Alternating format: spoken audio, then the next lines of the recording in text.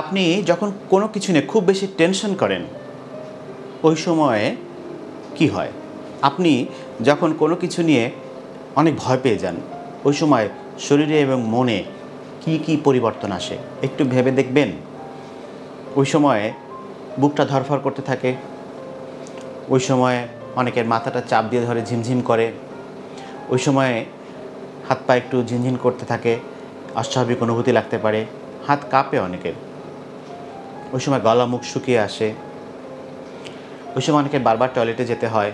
এগুলো টেনশনের লক্ষণ, আমরা আগে বলেছি অনেকবার। এই লক্ষণগুলো হয় কারণ হিসেবে দেখা গেছে, ওই সময় ব্রেইনের অ্যামিকডালা বলে একটি অঞ্চল আছে, একটি এলাকা আছে। ওই এলাকা খুব বেশি সক্রিয় হয়ে যায়। তখনই টেনশন দেখা যায়, বেড়ে যায়। এখন আবার আপনি মনে করেন খুব আরাম করে আপনার খুব পছন্দের কোনো একটি কাজ করছেন। আপনি আপনার ইউটিউবে একটি মুভি দেখছেন। আপনি ইউটিউবে আমার ভিডিও দেখছেন। অথবা আপনি নাটক দেখছেন। আপনি প্রে করছেন, আপনি নামাজ পড়ছেন, আপনি প্রার্থনা করছেন, মসজিদে যাচ্ছেন, মন্দিরে যাচ্ছেন, গির্জায় যাচ্ছেন। ওই সময় কিন্তু আপনার মনে টেনশন থাকার কথা না। ওই সময় কিন্তু আপনি খুব রিল্যাক্স হার্ট রেটটা অতটা বেশি থাকে না। ওই সময় শ্বাসের গতি একদম স্বাভাবিক থাকে। কোন দিক দিয়ে শ্বাস আসছে, কোন দিক দিয়ে শ্বাস যাচ্ছে আপনার বোঝারই কথা না। হাত, পায়ের, মাংসপেশিগুলো শিথিল অবস্থায় থাকে। কিন্তু টেনশনে কিন্তু হাত, পায়ের, মাংসপেশি টাইট হয়ে যায়। টেনশনে কিন্তু যেটা বলেছি যে ওই সময়ে মানুষের মনের মধ্যে এক ধরনের অস্থিরতা চলতে থাকে এবং ওই যে শ্বাসের গতিও কিন্তু বেড়ে যায়। ঘন ঘন, ছোট ছোট শ্বাস নিতে থাকে। মনে হয় শ্বাসটা ক্লিয়ার হচ্ছে না, দমটা ক্লিয়ার হচ্ছে না, এরকম একটা অনুভূতি আসতে থাকে। এগুলো সবই টেনশনের ফলাফল। রিল্যাক্স যখন থাকেন, মসজিদে, মন্দিরে যাচ্ছেন, আরাম করছেন, গল্প করছেন, গান শুনছেন, আড্ডা দিচ্ছেন, ওই সময় আবার ব্রেইনের সামনের দিকে ফ্রন্টাল লোব বলে একটি জায়গা আছে, ওই জায়গায় বেশি সক্রিয় থাকে। ধরে নিন, আপনার ওই যে, যেই জায়গায় টেনশন কাজ করে ব্রেনের ওই জায়গায় একটা লাল বাতি আছে, আর যেই জায়গাটা মানুষকে শান্ত করে, রিল্যাক্স রাখে, ওই জায়গায় একটা সবুজ বাতি আছে। সহজভাবে বলছি আমি। এই যে সবুজ বাতিটা যদি কারও বেশি জ্বলে, বুঝতে হবে তিনি তত বেশি শান্ত, তত নিজেকে কন্ট্রোল করতে পারছেন। আর লাল বাতিটা যদি কারও বেশি জ্বলে, তাহলে বুঝতে হবে যে তার খালি অ্যাংজাইটি তার খালি টেনশন বেশি হচ্ছে। লাল বাতি তো থামানো যাচ্ছে না, নিভানো যাচ্ছে না কন্ট্রোল করা যাচ্ছে না। আজকে আপনাদেরকে এমন একটি কৌশল শেখাবো, যে কৌশল যদি রপ্ত করতে পারেন এবং চর্চা করতে পারেন রেগুলার, তাহলে আপনি নিজেই আপনার নিজের টেনশনকে হাতের মুঠোয় এনে কন্ট্রোলে আনতে পারবেন। এই উপায়টার নাম হচ্ছে রিল্যাক্সেশন থেরাপি বা নিজেকে শিথিল করার পদ্ধতি। এই উপায়ে লাল বাতিকে নিভু নিভু করা হয়, সবুজ বাতিকে বেশি প্রজ্বলিত বা আলোকিত করা হয় বা সবুজ বাতির পাওয়ার বাড়ানোর চেষ্টা করা হয়। মানে আপনি রিল্যাক্স করতে পারবেন নিজেকে। এই ক্ষমতা আপনার মধ্যে বাড়ানোর চেষ্টা করি আমরা। এই রিল্যাক্সেশনের তিন তিনটি ধাপ আছে। একটা হচ্ছে পিএমআরটি বা প্রোগ্রেসিভ মাস্কুলার রিল্যাক্সেশন থেরাপি ক্রমান্বয়ে শরীরের প্রতিটি মাংসপেশির সংকোচন প্রসারণ। কারণ আমরা জানি টেনশনের সাথে মাংসপেশির ব্যথার একটি যোগ আছে। আচ্ছা ভালো কথা। সারা শরীরে বিভিন্ন জায়গায় ব্যথা, কোথাও কোনো রোগ খুঁজে পাওয়া যাচ্ছে না। পরে দেখা গেল তার রোগ আসলে টেনশন এরকম আছে। এই রিলেটেড আরেকটি ভিডিও আমি বানাবো। লক্ষ্য রাখবেন, আপনাদের জন্য আমি বানাবো। এনিওয়ে সো প্রথমেই বলেছিলাম যে পিএমআরটি মাংসপেশির ব্যায়াম খুব গুরুত্বপূর্ণ এই টেনশন কমানোর জন্য। এটা প্রথম ব্যায়াম। দ্বিতীয় ব্যায়ামটি হচ্ছে ব্রিদিং এক্সারসাইজ বা শ্বাসের ব্যায়াম, সঠিক উপায়ে শ্বাস নেওয়ার ব্যায়াম। এবং তৃতীয় ব্যায়ামটি হচ্ছে ইমেজারি বা কল্পনার ব্যায়াম। আমি তাহলে একটু প্রথমে মাংসপেশির ব্যায়ামটা দেখাই। আমাদের মূল লক্ষ্য থাকবে শরীরের নিচের অংশকে একবার ব্যায়ামে ব্যায়ামের আওতায় ফেলা, উপরের অংশকে একবার ব্যায়ামের আওতায় ফেলা এবং একবার পুরো শরীরকেই ব্যায়ামের আওতায় ফেলা। সেটা কীভাবে? প্রথমে আমরা একটু শরীরের নিচের অংশের প্রতি মনোযোগ দিব। আপনাকে এখন যেটা করতে হবে, সেটা হচ্ছে আপনি মনে করবেন আপনি ঠিক এভাবে বসে পায়ের পাতা দিয়ে আপনি মেঝেটাকে ভেঙে ফেলতে চাচ্ছেন, এইরকম একটা অনুভূতি আপনার মধ্যে আনতে হবে এবং এইরকম একটা চেষ্টা আপনাকে চালাতে হবে যে, অর্থাৎ পায়ের পাতা দিয়ে আপনি, পায়ের পাতা দিয়ে আপনি মেঝেকে, মেঝের উপরে এমনভাবে চাপ দিবেন যেন মেঝেটা আপনি ভাঙতে চাচ্ছেন। এবং চাপ যখন দিবেন, তখন খেয়াল রাখবেন, আপনার পায়ের এই পাতা, পাতার অংশ পুরাটা খুব টাইট হয়ে গেছে, এই অংশটুকু টাইট হয়ে গেছে আর একটু উপরে আর একটু উপরে যে থাই আছে এই থাইয়ের অংশটুকু, এই জায়গাটাও খুব টাইট হয়ে গেছে, কোমরের অংশটুকু টাইট হয়ে গেছে। আপনি এরকম চাপ দিয়ে কিছুক্ষণ বসে থাকার চেষ্টা করেন, মোটামুটি দশ সেকেন্ডের মতো বসে থাকার চেষ্টা করেন, এবং আপনি অনুভব করেন আপনার সমস্ত জায়গা টাইট হয়ে গেছে। আপনি শুনলে অবাক হবেন, মানুষ যখন টেনশনে থাকে, মনের অজান্তে এরকম টাইট হয়ে যায় মাংসপেশিগুলো। এইবার টাইট অবস্থায় রেখে দেন অনুভূতিটা ফিল করার চেষ্টা করেন। ধরে নিন, আপনি এখন টেনশনে আছেন আপনি এখন অস্থিরতায় আছেন। অস্থিরতা এরকমই হয়। এইবার নিজেকে রিল্যাক্স করেন। ধীরে ধীরে রিল্যাক্স করেন। আস্তে আস্তে মাংসপেশিগুলো ছেড়ে দেন। আস্তে আস্তে ঢিলা দেন। আস্তে আস্তে নরম করেন। শিথিল করেন। আস্তে আস্তে শিথিল করেন। শিথিল করেন। সমস্ত মাংসপেশিগুলোকে একদম নরম করে দেন। শিথিলতার স্বাদ নিন এবার। এবার আপনি মনটা যখন রিল্যাক্স থাকে তখন মাংসপেশি ঠিক এই রকম রিল্যাক্স থাকে, সেই রিল্যাক্স হওয়ার অনুভূতিটা নেওয়ার চেষ্টা করুন। আরাম করে মাংসপেশিগুলোকে শিথিল করে বসে থাকুন কিছুক্ষণ। দশ সেকেন্ড, পনেরো সেকেন্ড। আপনি খুব রিল্যাক্স অবস্থায় আছেন কিন্তু। এটা গেল। শরীরের নিচের অংশের ব্যায়াম ছিল। এইবার আমরা উপরের অংশের ব্যায়াম করব। উপরের অংশের ব্যায়াম কীরকম? আপনি হাত দুটো দিয়ে হাঁটুটাকে চেপে ধরবেন এইভাবে। হাত দুটো দিয়ে হাঁটুটাকে এমনভাবে চেপে ধরবেন যেন আপনি হাঁটুটাকে খুব শক্ত করে টাইট করে ধরে রাখতে চাচ্ছেন আপনার হাঁটুর জয়েন্টকে। টাইট করেন, চেপে ধরেন, দেখবেন হাতের এই অংশ, এই অগ্রবাহু আমরা বলি বাহু, কাঁধ, সমস্ত জায়গা কেন জানি টাইট হয়ে আসছে। ঠিক যখন টেনশনে থাকেন আপনি ঠিক যখন অস্থিরতায় ভুগেন, তখন তখন কিন্তু এরকম টাইট হয়ে থাকে সব কিছু মাংসপেশিগুলো। আপনি বুঝেন না, কিন্তু আপনার খারাপ লাগতে থাকে। এটাই সেই অস্থিরতা, এটাই সেই টেনশন এরকম টাইট করে ধরে রাখেন, দশ সেকেন্ড মোটামুটি ধরে রাখেন। টাইট হওয়াটা যে টেনশনের লক্ষণ, এটা বোঝার চেষ্টা করেন। টাইট বা কষ্টটা অনুভব করার চেষ্টা করেন। এইবার খুব ধীরে ধীরে, খুব আস্তে আস্তে বেশি সময় নিয়ে মাংসপেশিগুলোকে শিথিল করে দেন। ধীরে ধীরে, আস্তে আস্তে স্বাভাবিক অবস্থায় মাংসপেশিগুলোকে নিয়ে আসেন। এবং অনুভব করার চেষ্টা করেন, আপনার যেই মাংসগুলো এতক্ষণ টাইট হয়েছিল, সেই মাংসগুলো এখন শিথিল হয়ে গেছে। অর্থাৎ টাইট থেকে শিথিল আপনি নিজেই করতে পারেন। টেনশন থেকে মনকে শান্ত, আপনি ঠিক একইভাবে নিজেই কিন্তু আসলে করতে পারবেন। এবার পুরো শরীরকে একবারে টাইট করব, একবারেই শিথিল করব, সেটা কেমনে? একই সাথে পা দিয়ে, একই সাথে পা দিয়ে আমরা মেঝেকে যেমন পায়ে, পা দিয়ে চাপ দিব মেঝের উপরে, তেমনি একই সাথে হাত দুটো দিয়েও হাঁটুকে চেপে ধরবো। একসাথে টাইট করে পা দিয়ে মেঝে চাপলাম, হাত দিয়ে হাঁটুও ধরলাম। সেখান সমস্ত পায়ের সমস্ত নিচে থেকে শুরু করে কাঁধ পর্যন্ত সমস্ত শরীর একদম শক্ত হয়ে গেছে। টেনশন হচ্ছে আপনার, মাংসপেশি শক্ত হয়ে গেছে, কষ্ট হচ্ছে। ফিল করেন। এরকম দশ সেকেন্ড ধরে রাখার পরে ধীরে ধীরে ধীরে ধীরে সমস্ত মাংসপেশিগুলোকে শিথিল করেন, ছেড়ে দেন। ওই আগের মতো ছেড়ে দেন। দেখেন সমস্ত শরীর আবার রিল্যাক্স হয়ে গেল। আরাম করে একটু আরাম নিন, একটু ধীরে ধীরে বোঝার চেষ্টা করুন আপনি কতটা রিল্যাক্স স্টেটে আছেন। প্রত্যেকটি ব্যায়াম, পায়ের পাতার ব্যায়াম হাত দিয়ে হাঁটু ধরার ব্যায়াম এবং দুয়ে মিলে যে ব্যায়াম বললাম, প্রত্যেকটি ব্যায়াম তিনবার তিনবার করে করবেন। এইভাবে করলে একটি ধাপ সম্পন্ন হলো। এটাকে আমরা বলছি প্রোগ্রেসিভ মাস্কুলার রিল্যাক্সেশন থেরাপি তো রিল্যাক্সেশনের প্রথম ধাপ শেষ হয়ে গেল। দ্বিতীয় ধাপ হচ্ছে শ্বাসের ব্যায়াম। আমরা বলেছি টেনশনে থাকলে মানুষ দ্রুত দ্রুত শ্বাস নেয়। দ্রুত দ্রুত শ্বাস, ছোটো ছোটো শ্বাস নেয়, ঘন ঘন শ্বাস নেয়। এরকম শ্বাস নিলে কী হয় জানেন? তখন ব্রেইনে কার্বন ডাইঅক্সাইডের কনসেন্ট্রেশন বা ঘনত্ব এলোমেলো হয়ে যায়।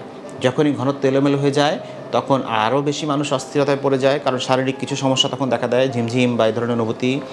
হ্যাঁ তখন বলে, কী হলো রে ভাই? আমার হার্ট এরকম করছে কেন? আমার হাত এমন করছে কেন? মুখ এমন করছে কেন? এটা চিন্তা করে আরও টেনশনে পড়ে যায়, একটা দুষ্ট চক্রে পড়ে যায় মানুষ। এই দুষ্টচক্রকে থামানোর জন্য ওই সময় সঠিক উপায়ে শ্বাস নিতে হবে। যেই মুহূর্তে টেনশন বেড়ে যায়, সেই মুহূর্তে তো নেবেনই।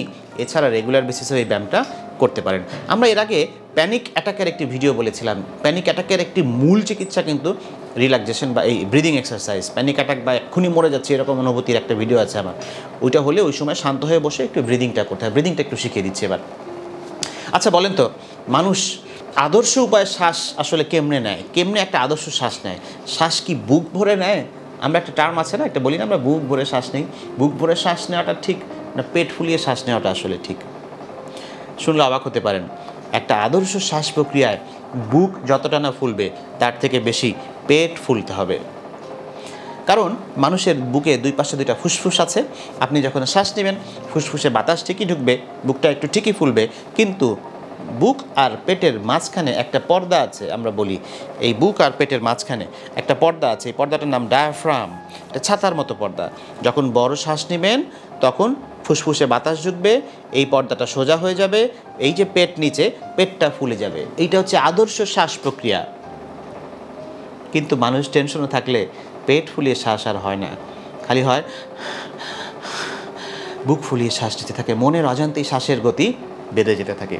ওই দুষ্ট শ্বাস প্রক্রিয়াকে আমরা থামাতে চাই, সেজন্য আমরা আদর্শ শ্বাস প্রক্রিয়া শিখতে চাই। সেই আদর্শ শ্বাস প্রক্রিয়াটা একটু বলছি, দেখেন, খেয়াল করে দেখেন। প্রথমত, আমি খুব রিল্যাক্স করে বসবো, আরাম করে বসবো। আমরা রিল্যাক্স রিল্যাক্সেশন শিখতে এসেছি, আমরা রিল্যাক্স করে বসলাম। এবার ধীরে ধীরে একটু চোখটা বন্ধ করব আমরা।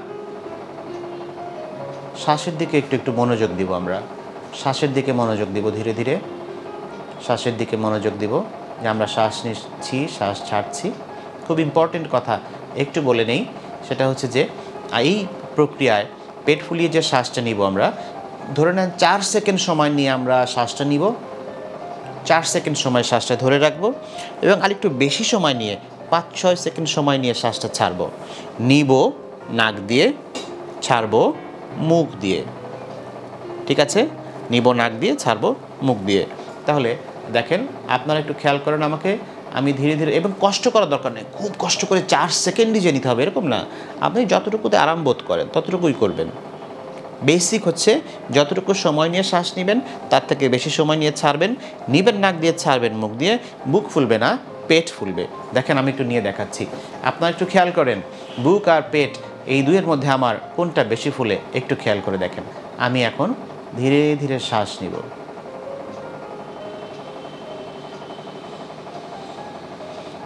শ্বাস নিলাম, ধরে রাখলাম।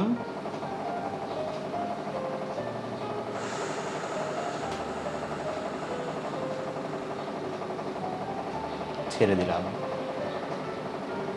আমি আরেকবার করে দেখাই।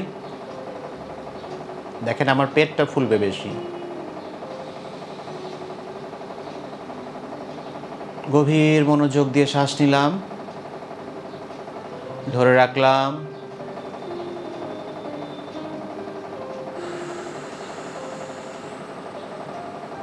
ধীরে ধীরে মুখ দিয়ে ছেড়ে দিলাম। এবং মনোযোগটা থাকবে শুধু শ্বাসের দিকে। আশপাশের যত শব্দ যাই হোক না কেন, শ্বাসটা নিচ্ছি, অক্সিজেনটা ঢুকছে, আস্তে আস্তে ছাড়ছি, কার্বন ডাইঅক্সাইড বের হয়ে যাচ্ছে, এমনভাবে চিন্তা করে করে করে করে শ্বাস নেবেন।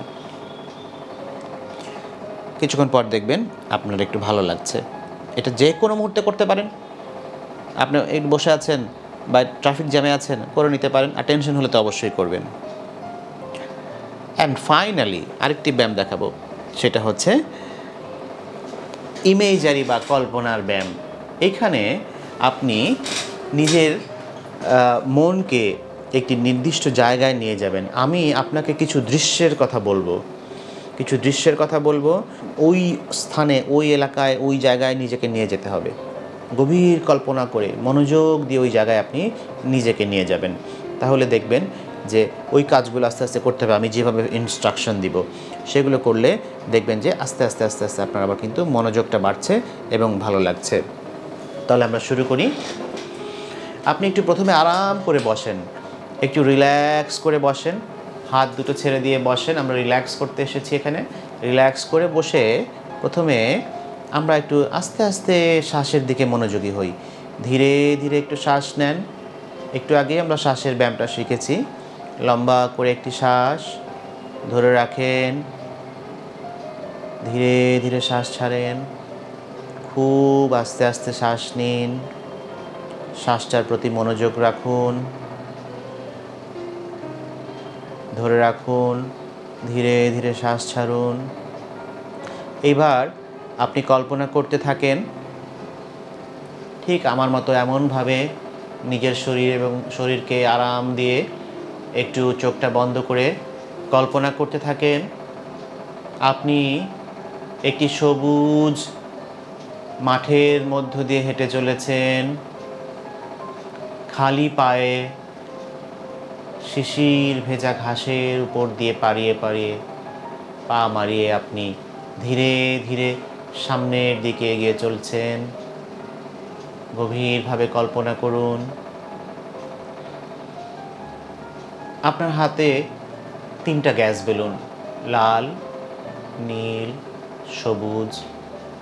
লাল বেলুনটা হাঁটতে হাঁটতে হাঁটতে হাঁটতে নীল আকাশের দিকে আস্তে করে উড়িয়ে দিলেন। আকাশে মিলিয়ে যাচ্ছে বেলুন। সেই বেলুনের সাথে সাথে আপনার মনের যত দুঃখগুলো সেগুলো যেন সব ধীরে ধীরে মিলিয়ে যাচ্ছে। আপনি কল্পনা করুন, আমি শান্তিতে আছি, আমি শান্তিতে আছি, আমি শান্তিতে আছি। আপনি আর একটু সামনে এগিয়ে যাচ্ছেন। সামনে সুন্দর আকাশ, অবারিত সবুজের মাঠকে পাড়ি দিতে দিতে আপনি যাচ্ছেন। লাল বেলুনটার সাথে সাথে এবার আপনি নীল বেলুনটাও আস্তে আস্তে আস্তে আস্তে আকাশে উড়িয়ে দেন। এই বেলুনের সাথে সাথে মনে করেন আপনার যত স্ট্রেস টেনশন সব উড়ে গেল। আপনি হাঁটছেন হাঁটছেন, আর একটু হালকা হয়ে গেলেন আপনি। দুটো বেলুন চলে গেছে, মন থেকে স্ট্রেস চলে গেছে, দুঃখ চলে গেছে। আপনি কল্পনা করুন, আপনার হালকা লাগছে, নির্ভার লাগছে, শান্ত লাগছে।